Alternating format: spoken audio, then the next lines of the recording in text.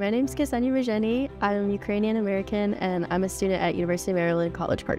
I'm studying music performance. I play flute and piccolo. So many people associate the piccolo with marching bands. What do you like to play on the piccolo? I've actually never played a marching band, so I'm definitely an orchestral piccolo person. I love playing Shostakovich because it's such a challenge and it's just such a beautiful instrument. Tell me about your Ukrainian heritage. My dad actually immigrated in the early 2000s and met my mom, um, who's American. Was there any sort of any music in your family or any Ukrainian musical influence in your life? Violin's a big thing on my dad's side, so I started on violin when I was four, and I realized very quickly violin was not for me, and that's okay. And I picked up flute a little bit later. What's on your playlist? Pop or classical? Any kind of music you want. What are you listening to? Um, like pretty much any like big classical symphony that you can really sing along to, and some pop music. Like there's a couple Sabrina Carpenter songs that are kind of fun.